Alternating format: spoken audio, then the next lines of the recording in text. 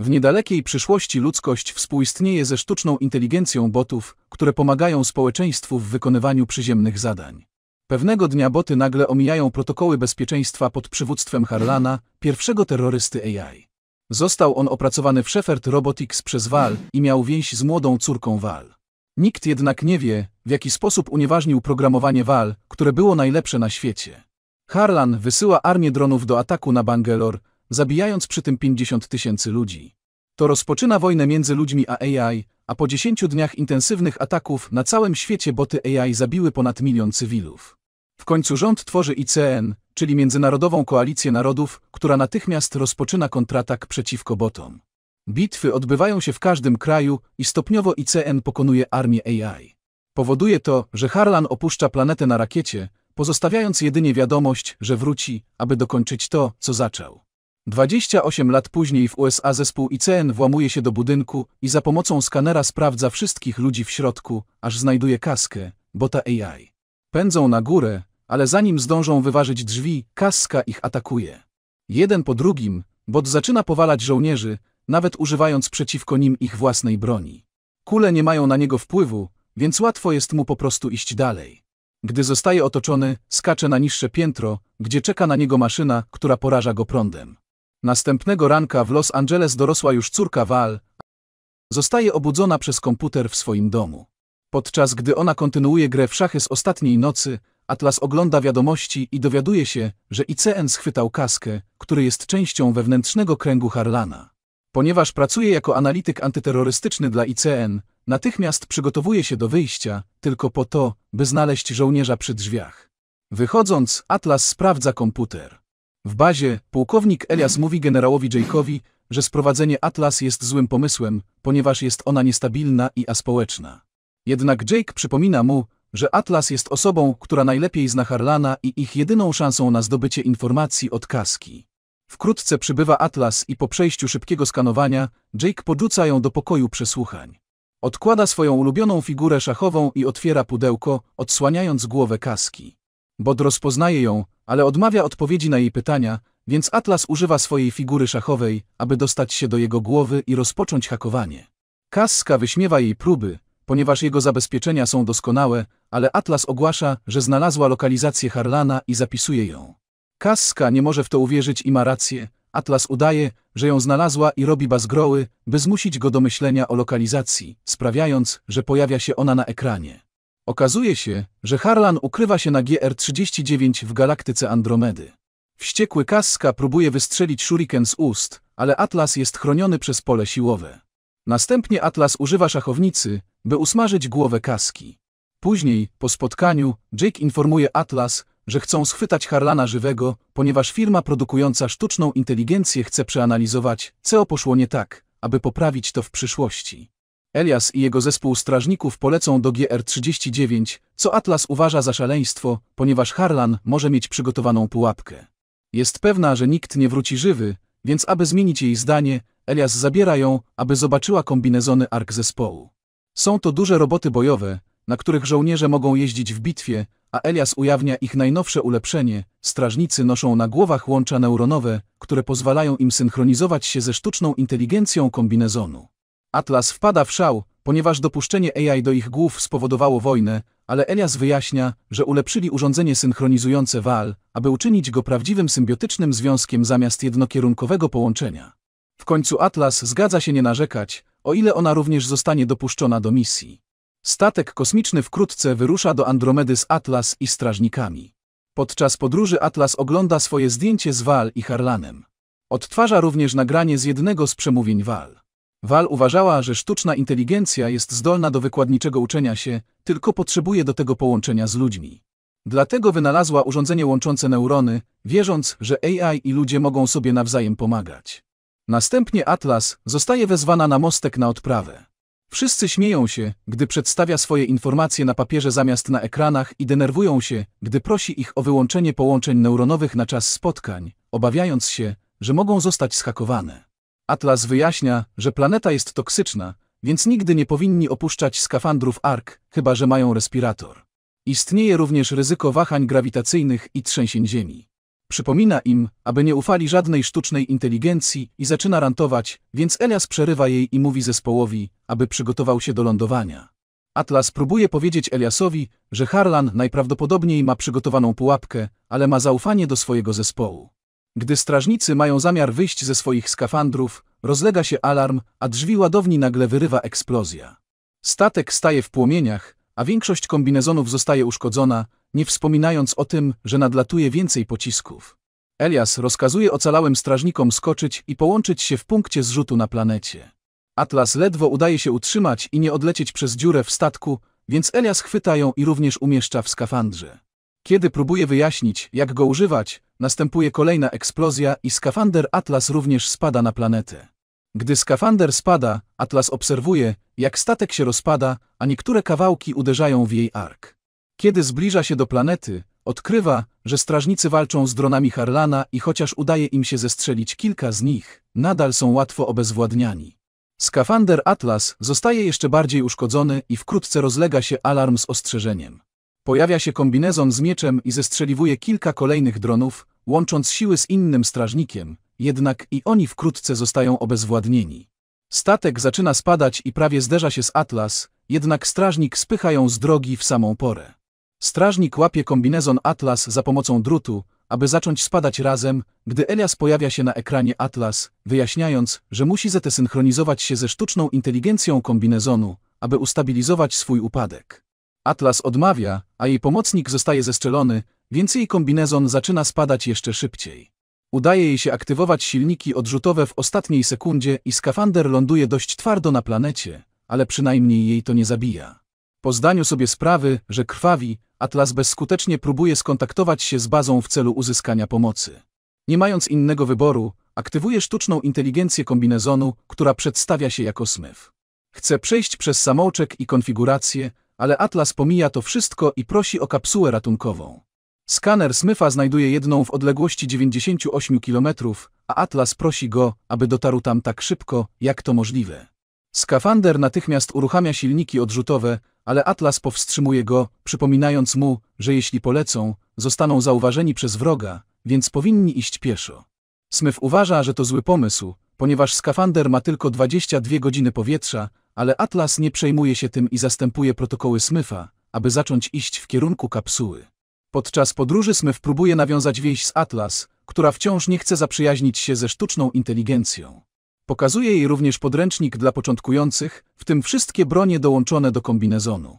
W końcu docierają do punktu zrzutu i znajdują wszystkie poległe kombinezony, ale niestety skan Smyfa wskazuje, że wszyscy strażnicy nie żyją.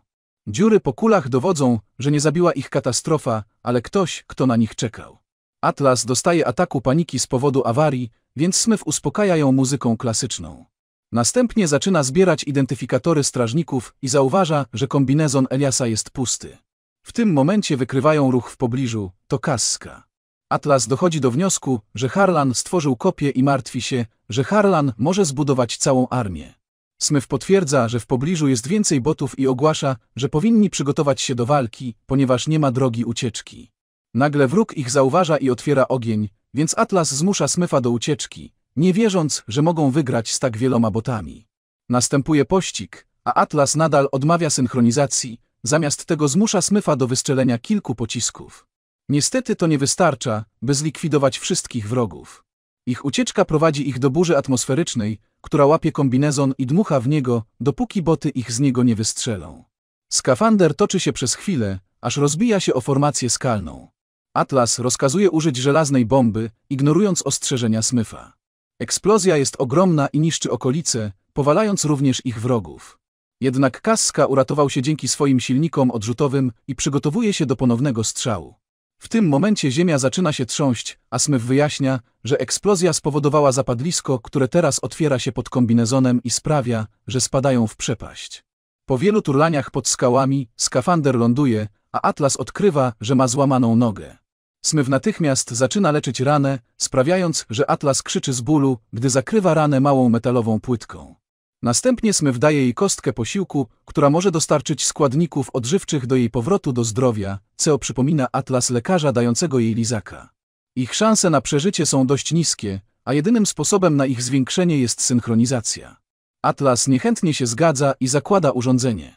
Tymczasem Kaska wyłania się spod gruzów i dzwoni do Harlana, by poinformować go o sytuacji.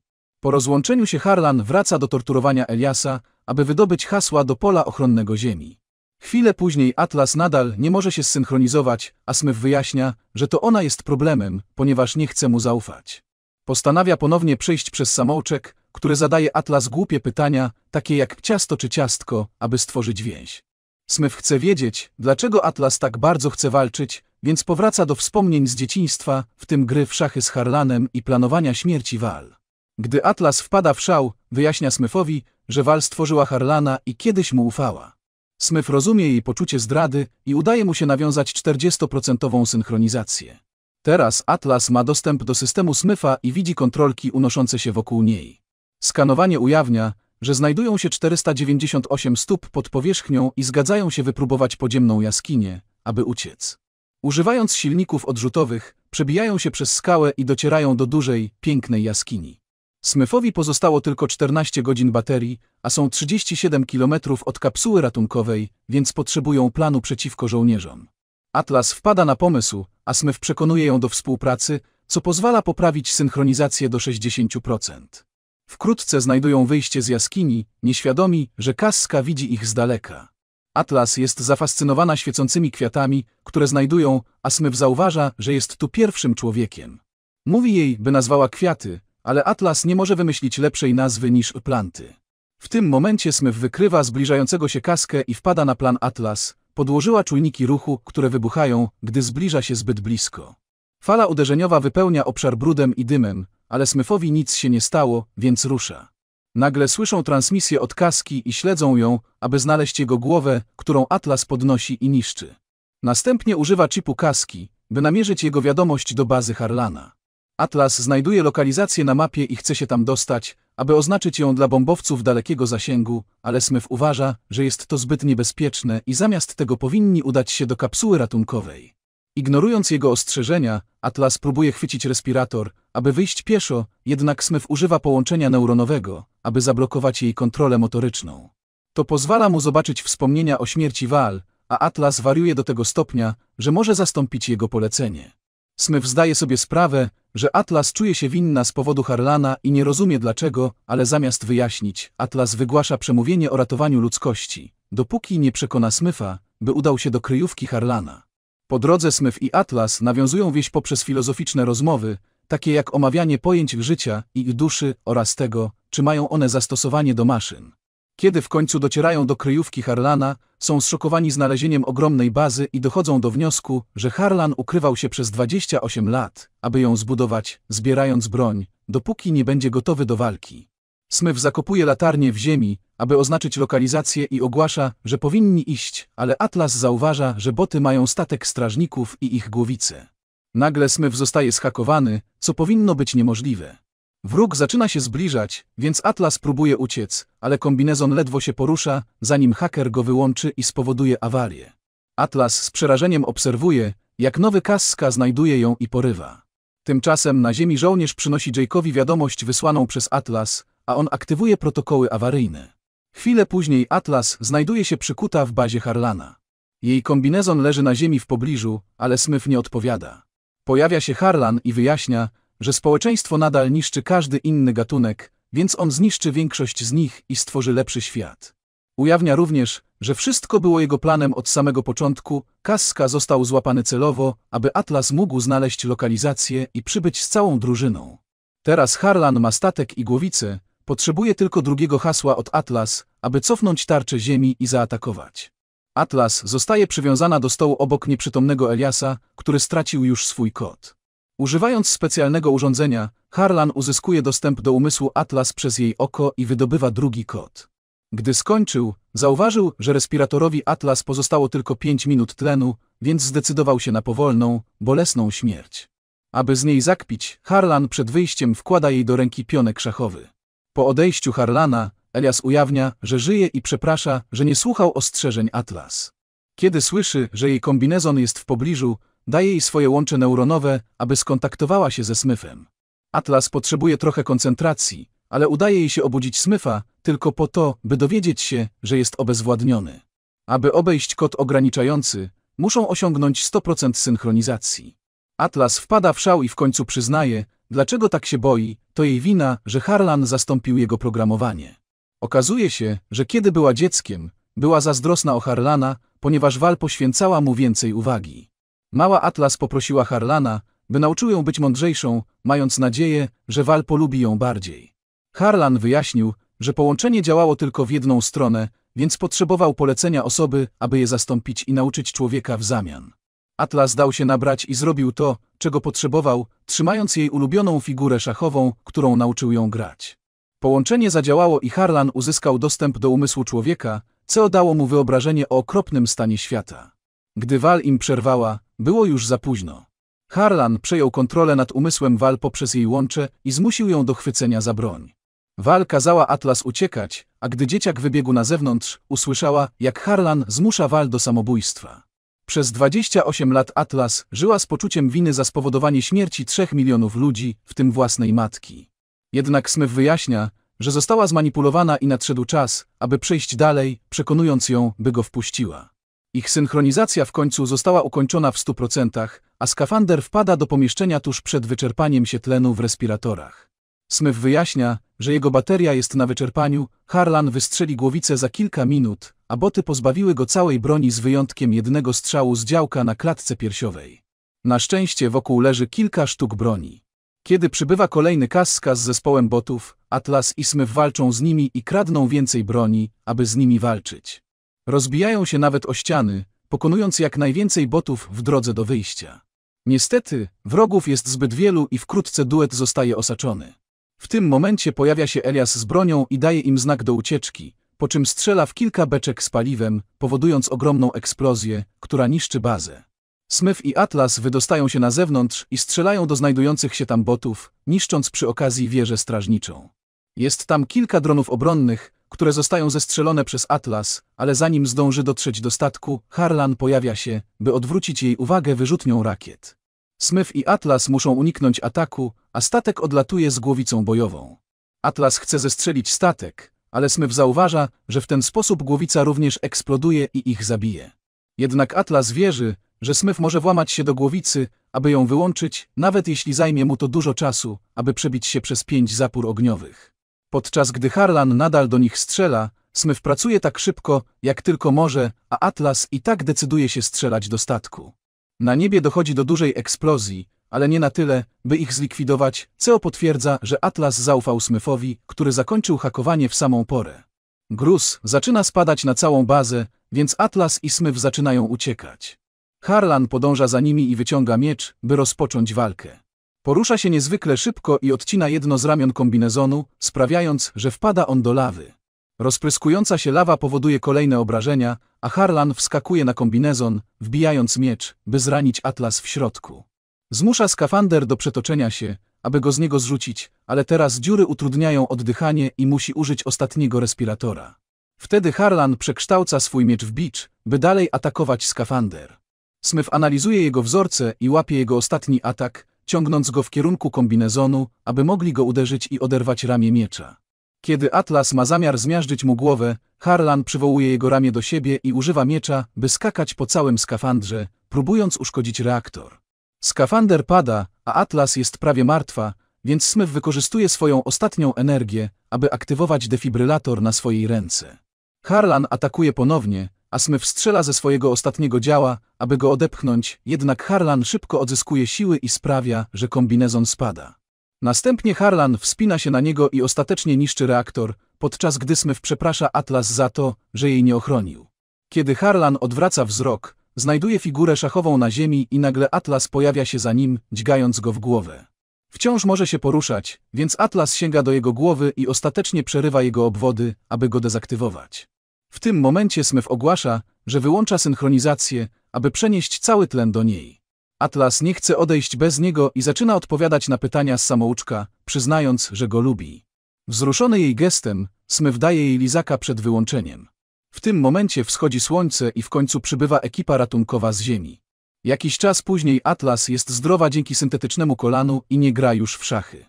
Jake odwiedza ją i przynosi jej świecący kwiat z GR39, potwierdzając, że nazywają go planty.